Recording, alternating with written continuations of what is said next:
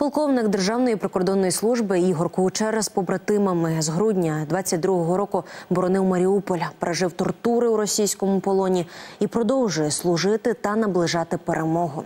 Його історія далі.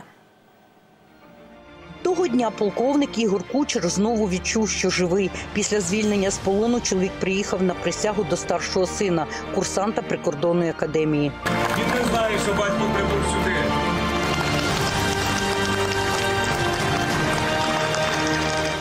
Служив у Херсоні та Харкові. У перші дні повномасштабної війни був у складі Донецького прикордонного загону.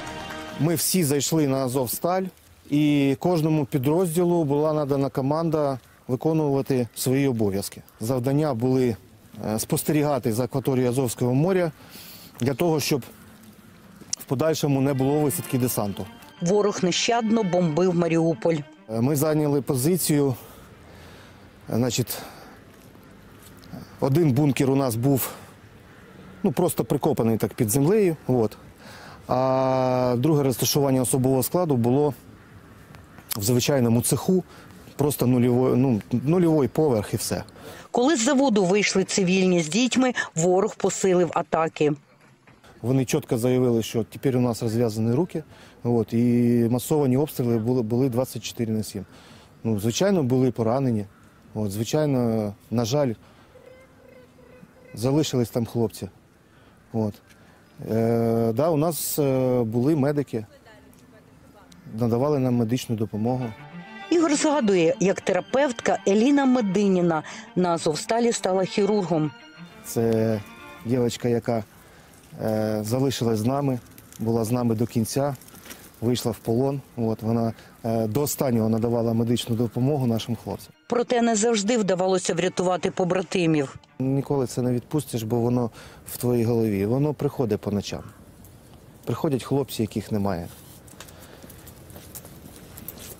Ну, сняться сни, від яких ти просинаєшся посеред ночі.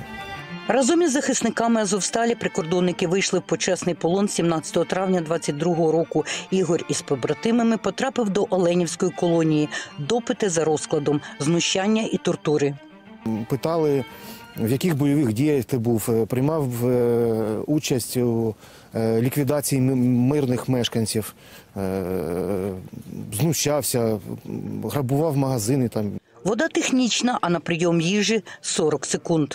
От насипали багато, насипали багато, да? а за столом нас сиділо вісім чоловік. І от вони на кожен стіл насипали багато і кипяток. От просто реально прямо от з е, котла от кипяток, кашу. Да? І от на кожен стіл вони давали 40 секунд. За три з половиною місяці чоловік втратив майже 33 кілограми. За життя тримався, бо знав, на нього чекає сім'я. Коли повернувся, я дізнався. Да, у мене навіть дружина з моєю мамою знайшла в Запоріжжі яко, в якої мене хрестили. От. І вони пішли, пішли в ту церкву от, і попросили Господа Бога, щоб зі мною було все нормально. Полковник Кучер продовжує службу у Національній академії Держприкордонслужби України. Указами президента України нагороджено орденом Богдана Хмельницького третього ступеня полковника Кучера Ігоря Васильовича, помічника ректора. Служу українському народу. Попри все пережити, Ігор говорить, життя вартує випробувань. Якщо мені Бог дав е, такий шанс е, жити, то я щаслива людина. Марічка Золота, Філіп Гаврилюк, подробиці телеканал Інтер. Єдині новини.